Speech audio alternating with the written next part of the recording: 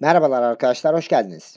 Derbi maçında ezeli rakibi Galatasaray'ı yenerek moral bulan Fenerbahçe UEFA Avrupa Ligi D grubu 5. maçında Yunan temsilcisi Olympiakos ile karşı karşıya geliyor. İlk maçta rakibine 3-0 yenilen temsilcimiz hem rövanş almak istiyor hem de gruptan çıkma şansını sürdürmenin peşinde. Fenerbahçe'de son dakika sakatlığı bulunan Mesut Özil Yunanistan deplasmanına götürülmedi. Grupta bir galibiyet, iki beraberlik ve bir mağlubiyet yaşayan Fenerbahçe 5 puanla 3. sırada. Fenerbahçe'de Mesut Özil dışında sakatlığı bulunan iki futbolcu da Olympiakos mücadelesinde yer almıyor. Tedavilerine devam edilen Altay Bayındır ve Ener Valencia takımdaki yerlerini alamıyor. Takımla çalışmalara başlayan Gustavo'nun da kadroda yer alması beklenmiyor. UEFA'ya bildirilen listede bulunmayan Miguel Crespo, Burak Kapacak ve Serdar Dursun da müsabakada görev yapamayacak. Sloven oyuncu Miha Zayic ise sarı kart ceza sınırında.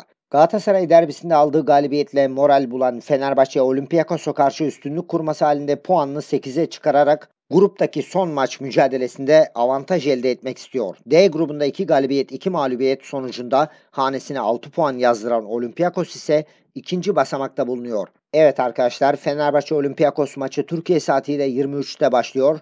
Fenerbahçe'ye Avrupa Ligi'nde başarılar diliyoruz. Maç gündeminin sonuna geldik. Beni dinlediğiniz için teşekkürler.